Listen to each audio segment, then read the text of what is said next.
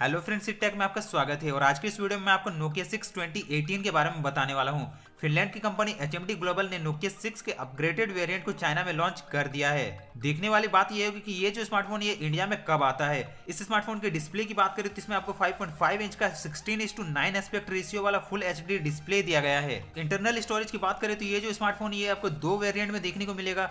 Thirty two GB internal storage और sixty four GB internal storage साथ ही इसमें पुराने नोकिया सिक्स की तरह चार जीबी की रैम और सिक्सटीन मेगापिक्सल का रियर कैमरा दिया गया है। मेरे ओपिनियन में कंपनी प्राइस को थोड़ा बढ़ाकर इसमें डुअल रियर कैमरा दे सकती थी तो शायद स्मार्टफ़ोन यूज़र को ये ज़्यादा पसंद आता। क्योंकि रिसेंटली जितने भी स्मार्टफ़ोन लॉन्च किए जा रहे हैं। लगभग सारे स्मार्टफ़ोन में डुअल रियर कैमरा देखने को मिल जाता है।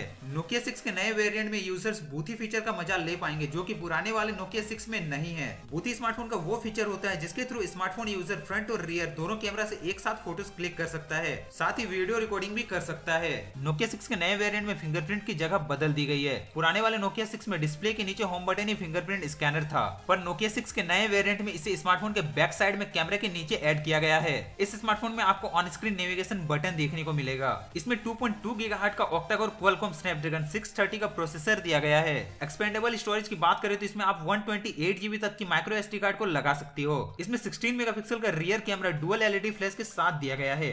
साथ ही इसमें 8 मेगापिक्सल का फ्रंट फेसिंग कैमरा दिया गया है। ऑपरेटिंग सिस्टम की बात करें तो नोकिया 6 एंड्रॉइड 7.1.1 नोकेट के ऑपरेटिंग सिस्टम पर काम करेगा। और लास्ट में बात कर लेते हैं इसकी बैटरी की। तो इसमें 3000 हज़ार की बैटरी दी गई है। तो अब बात कर लेते हैं इसके प्राइस की। तो चाइना में नोकिया 6 के चार जीबी रैम और thirty two GB internal storage वाले वेरियंट की कीमत एक हज़ार चार सौ निन्यानवे चीनी यूनान रखी गई है, जो कि इंडियन करेंसी में चौदह हज़ार छह सौ रुपए के करीब होती है। तो फ्रेंड आपको ये स्मार्टफ़ोन कैसा लगा? जब ये स्मार्टफ़ोन इंडिया में लॉन्च होगा तो क्या आप इसे परचेस करना चाहोगे? नीचे कमेंट करके ज़रूर बताना। तो फ्रेंड ये था Nokia six twenty eighteen variant को लेकर एक छोटा सा अपडेट तो आज की इस वीडियो में बस इतना ही। अगर आपको आज का वीडियो पसंद आया तो इस वीडियो को लाइक कीजिए, अपने दोस्तों के साथ शेयर कीजिए, ताकि उन्हें भी इसके बारे में पता चल सके। और अगर आपका किस तरह का कंफ्यूजन है तो नीचे कमेंट बॉक्स पर कमेंट कीजिए। मैं इसका आपको ज़रूर दूँगा। तो फ्रेंड मैं मिलता हूँ आपसे एक नए वीडियो में। तब तक के लिए बाय थैंक यू